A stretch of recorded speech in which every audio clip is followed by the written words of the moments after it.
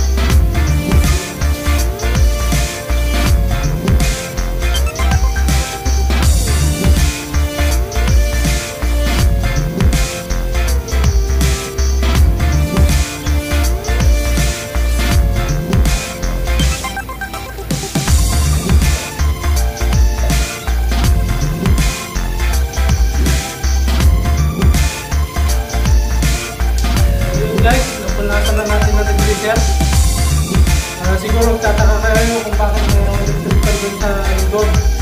Siguro lahat ng kumpanya ay kanilang meron yan.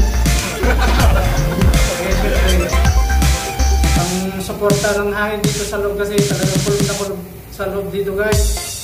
Kaya kailangan natin ng hangin kahit para kahit pa paano. Eh, magkaroon tayo ng hangin. At saka, medyo maano naman ng hangin ng konti ng ating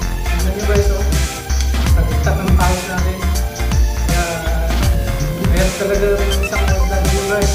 Kaya, sa mga babalak mag-OFW, isip-isip nyo na kayo guys. Siyempre, ang magiging isang OFW ay isang malaking responsibilidad. Nandiyan lahat yung pagtitiis, pagtitiyaga. Siyempre, sa panahon, lalo na ngayon, summer, mag-init. Sobrang init dito sa Middle East guys. Kaya yung mga nagbabalak, ah,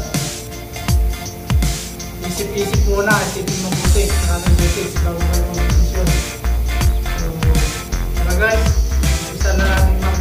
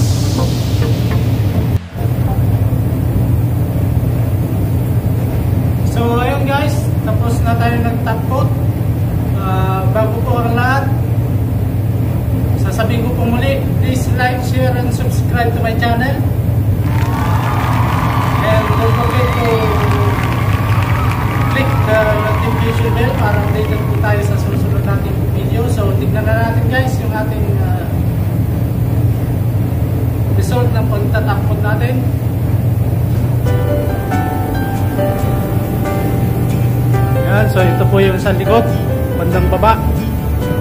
Ayos. Makintab siya.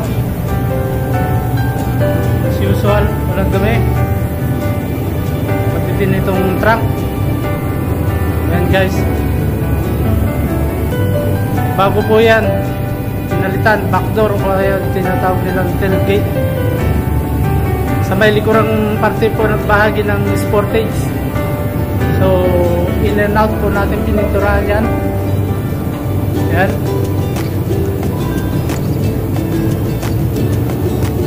So, as usual, gaya po ng aking parating sinasabi, pag maganda po yung preparasyon natin, then maganda din yung kalalabasan o yung result na ginawa natin. So, ayun guys. Fairness, malinis siya, makintab siya. Yan.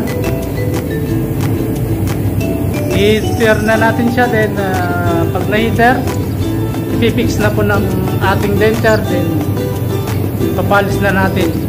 Pag natapos na ikabit lahat ng mga accessories niya. So, ayan guys. I-heater na natin siya. And salamat po ulit sa panonood.